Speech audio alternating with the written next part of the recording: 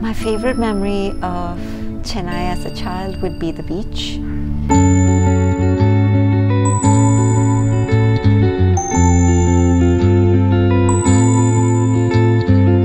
Playing in the big, big waves.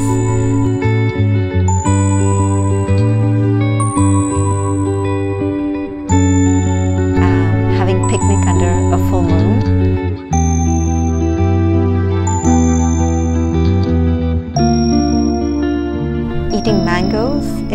Grandparents' house.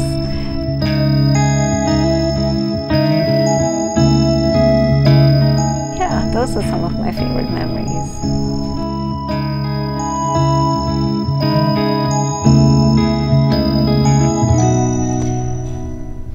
So I was actually abused. I don't remember exactly when it started, but the most of it happened from the time I was 10 till I was 13.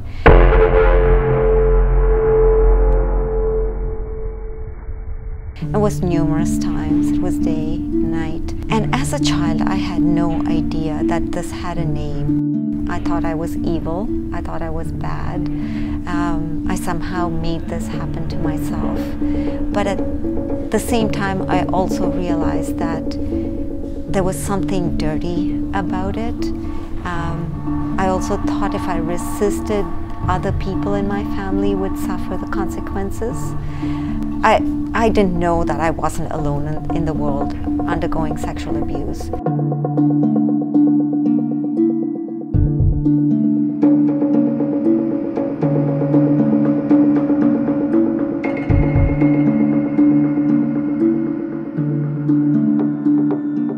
When I finally, you know, said no, um, I finally thought I could say no. And my abuser just looked at me and said, Oh, if you don't want it, I won't do it. It shocked me. I was like, Oh my God, I could have made this stop. And so I felt guilty. I became suicidal through my teen years. But it's only later I realized he was just messing with my mind because I, I was 13. I had reached sexual maturity. He had lost interest in me. He had started abusing another cousin of mine. It was his final hurt, his final thrust, his final degradation of me as a person was that comment. It took a long time. It, it, took a very long time. Guilt is one thing that it took me a very long time to get over. Uh, the first person in the family that I talked about was actually the daughter of the perpetrator. Um, she and I were very close. We basically grew up as sisters, and that's how the perpetrator was able to have access to me because I was sent to stay with her quite often.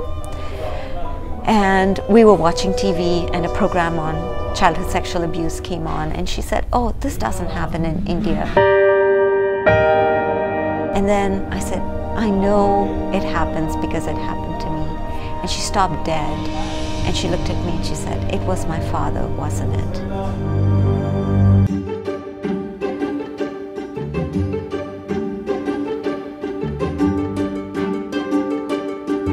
Yeah, so it, it's been a growing process.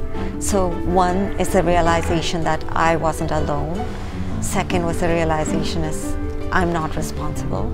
And then in my late 20s, a very strong desire to protect my nieces from the same same thing. So we told other family members. There was a there was resistance. It's a it's a difficult subject to talk about. And at that point, I told myself I've given the responsibility of protecting other children to my family. Let them take that responsibility. I've undergone the trauma. It's now their responsibility to protect other children. And in a way, I walked away from it. Around the early 2013, 2014, I started to get a gut feeling that the person who abused me may not have stopped yet. My thinking got even deeper. How do I now make repeat offenders like that stop? And my realization is repeat child molesters don't stop. Society has to make them stop. So I went and talked to the Canadian police about it, and they said if this had been in Canada, we'll treat you exactly like that. So they took my statement, they did all the interviews.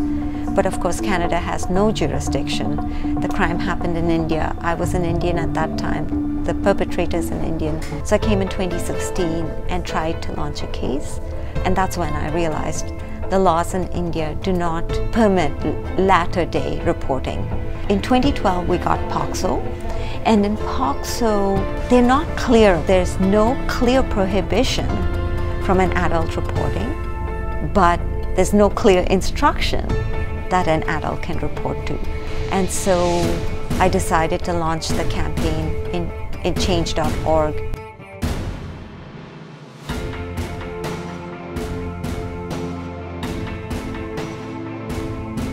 met with Ms. Maneka Gandhi and she understands that there's a gap in the legislation and she's willing to throw her support.